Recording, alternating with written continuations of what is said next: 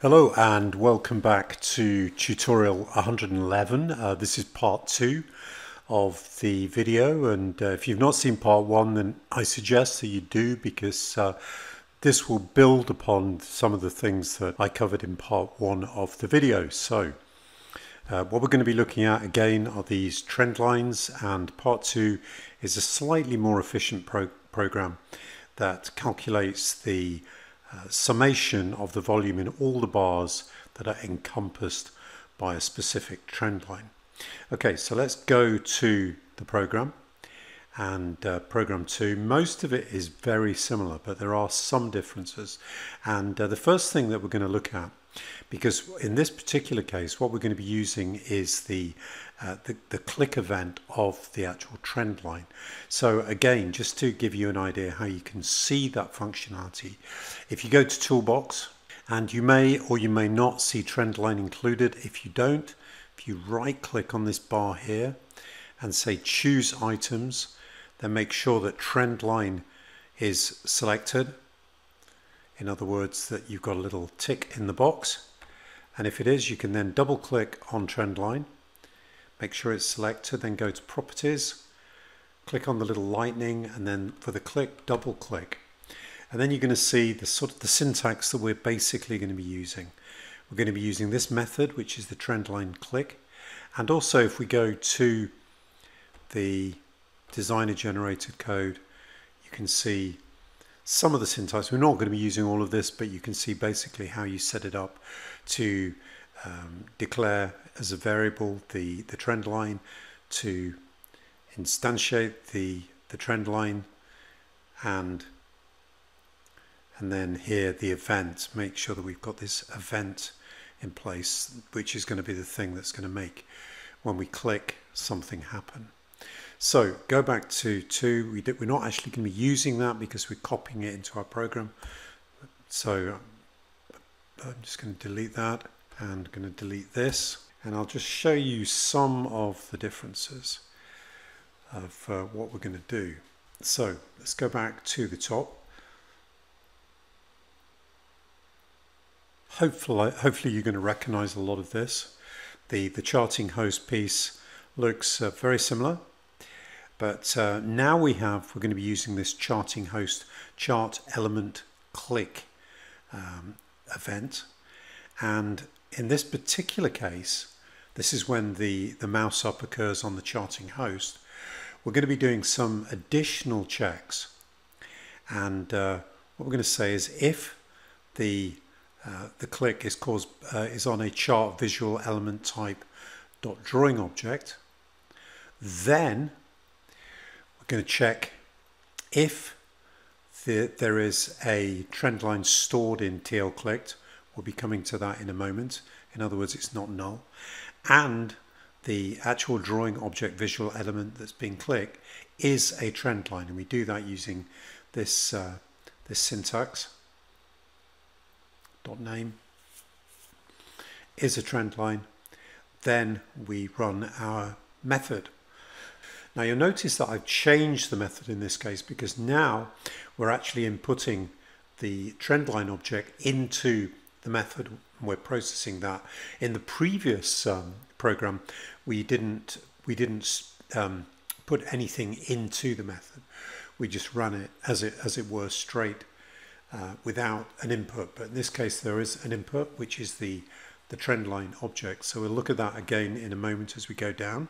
And then what we're going to do is we know again the list of all the objects, but we're going to be trying to work out whether a trend line has just been added to the chart. And one way we can do that is we can compare the count with a variable that I've set up in which we store the count. So if there is a discrepancy, then we know that uh, something has been added to the chart and uh, a trend line has been added to the chart. And then what we can do is we can add the click event for the new trend line and that's using the syntax that we just looked at a moment ago. It looks a bit more complicated but only because we're using this um, this variable here where we have the new tick count and um, we're saying the list, which is the trend line in the vector as type trend line. And we've got that in brackets, then dot click, we add the event. The other thing that we're going to do is set the tag to null. And then finally, we're going to do, we're going to apply the calcvol method to this new trend line. And then because we did the, um, the comparison between the TL counter, we do need to update the TL counter and we do that here where we set the TL counter to be list count now. TL counter, if we look up at the variables, is an intrabar persist variable. Okay, so that is on a charting host. Uh, click and testing to see if a trend line has been added to the chart. And if so going through applying the click event to the new trend line setting the tag to null and then uh, applying the the method. So let's just have a look at the method because this has changed now to uh, have an input. And the input is a trend line which I've just called T line.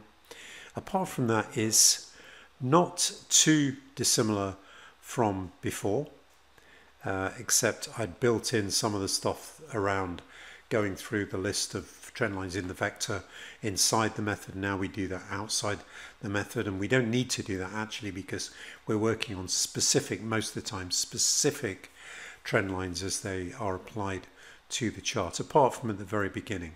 So I think most of this code will be familiar to you. The other thing that I've included here are some components of a print statement, which are just simply um, including some text to um, provide details of the, the starting point and the position of the start of the trend line and the end point. Okay, so I think most of that is quite similar, except uh, this time I've added a little bit of a uh, little bit more formatting for the text label. I've added the font and I've added a color. Apart from uh, persist is the same, v style is zero, and we just add that to the chart as before and set the trendline tag as before. Okay, so let's just go and have a look what happens when the trend line is actually clicked. Again, this is some code that we just looked at if you remember when we looked on the uh, toolbox, press trend, trend line, we generated some of this code and um, this is basically the same apart from the names are slightly different.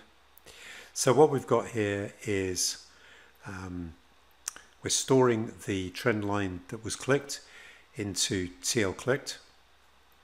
We get that from the sender, sender as type trend line which we get from here in this uh, in this method which the format for which is already set up for us. And then again we go through the list of all the uh, the trend lines in the vector and we go through and see um, try and work out which of those trend lines is the one that was clicked. Remember we know the one that was clicked here we call it TL clicked that's from the sender but we don't know where it is in our vector. So what I've said is if this trend line in the vector is equal to that, then we do we apply the method for that particular trend line. And then finally we do the, the thing that we did before, but again this is slightly modified. Once all the bars have been loaded on the chart, then we run this part of the program just once and essentially we go through this is when it first applied to the chart. We, get, we, we put all the trend lines in a list, all the trend lines that are on the chart at the moment. Remember, we will be adding more as we go along. But we go through that list, go through each trend line object in turn, and we apply the event, the trend line click event, as, as we did previously higher up in the program. We also set the tag to null, just in case there are any um, stray values stored in, in the tags.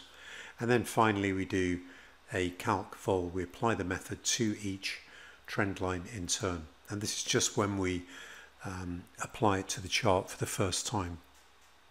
And if, uh, if all that has been done correctly, we should have something that looks a little bit like this. And you can see also for this particular trend line, I've got the labels applied, which provides additional information about that trend line. Okay, I know I went through that very quickly, but I think if you look at the previous video uh, in conjunction with this one, hopefully it will make a bit more sense. And also the programs have got comments, so you can, um, hopefully they will try and explain them a little bit more. Okay, thank you.